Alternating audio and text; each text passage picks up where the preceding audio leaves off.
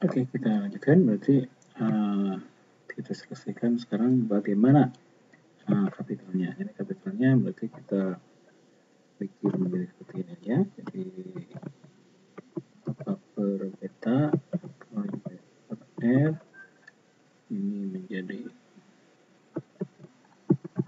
ini. Kemudian penyederhanaan kita bikin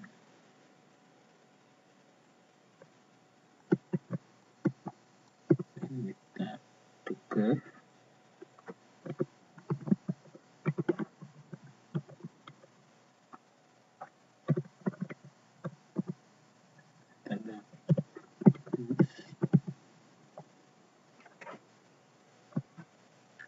sehingga kita bisa akan menjadi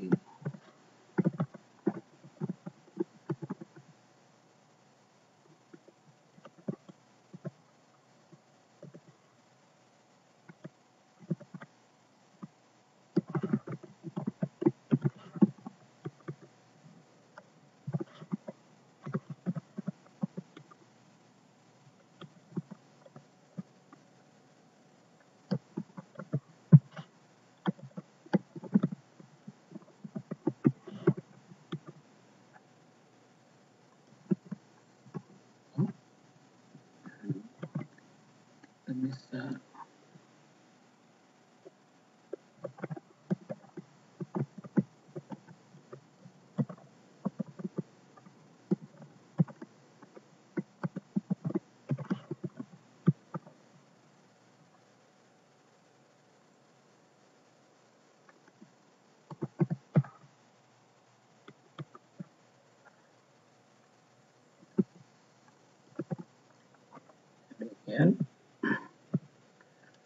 demikian maka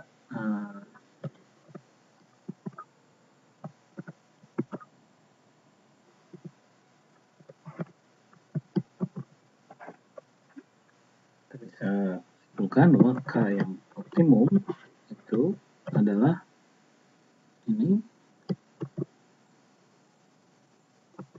Kemudian L yang optimum itu adalah yang seperti di atas yaitu yang ini.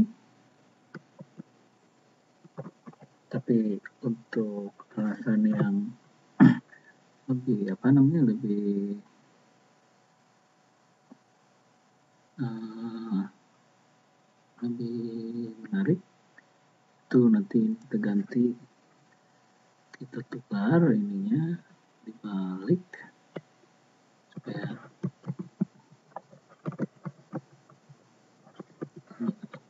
R ini ya minus jadi uh, di sini yang bisa kita simpulkan adalah bahwa baik si K si K ini K optimum, oh sorry, kecilan K yang optimum itu fungsi dari dua hal ya. pertama dia fungsi dari berapa outputnya juga fungsi dari berapa rasio harga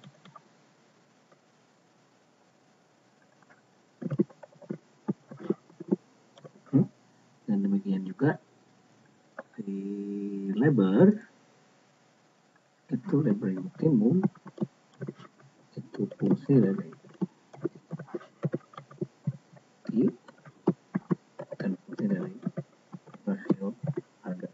Jadi dari sini secara matematis kita menyimpulkan bahwa uh, si ini si K itu baik si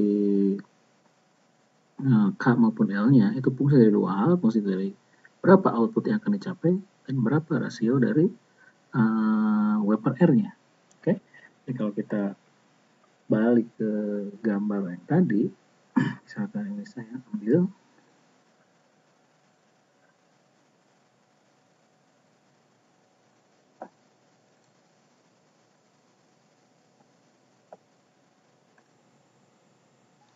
kemudian kita balik ke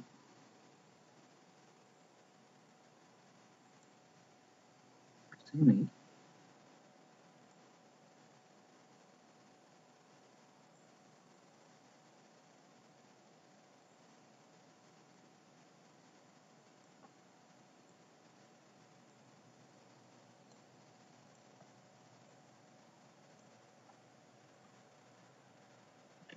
Nah ini berarti kita tadi sudah kita bisa gambarkan bahwa ini kalau ini L ini K berapa K yang optimum dan L yang optimum itu tergantung dua hal gitu.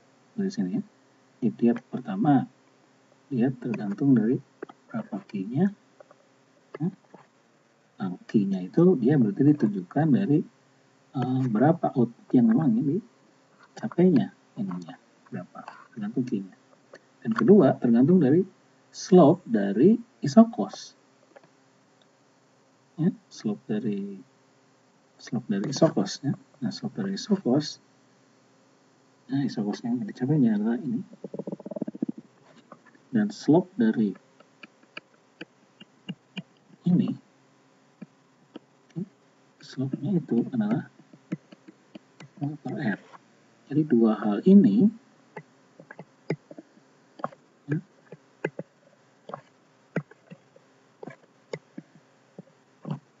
menentukan berapa titik yang optimum untuk baik L, K, maupun